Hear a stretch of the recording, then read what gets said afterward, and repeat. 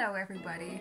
I am here today because XP Pen was so kind to send me one of their holiday season edition graphic tablets.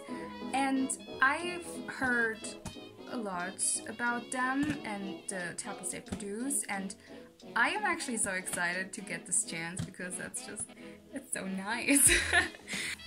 the packaging is absolutely gorgeous of this Yo, so here's a little and quick review. So I plugged in the tablet, downloaded the driver, and everything just went super smoothly, no restart required.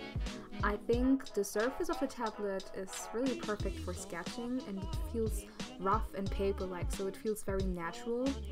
It's a little different from what I am actually used to from the Intuos because the Intuos itself, it reacts like a little more smoothly and has a little bit more pen pressure to it, but I didn't really mind that and you really get used to it very very fast.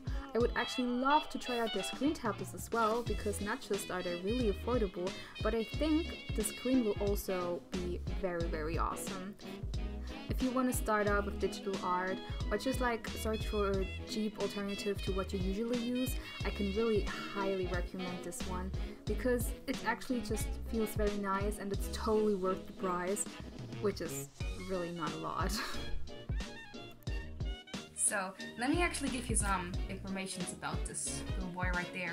So the one I got is the Deco 02. It comes in the holiday edition, which is like, I think about 80 euros. And like it features all the stuff I showed you.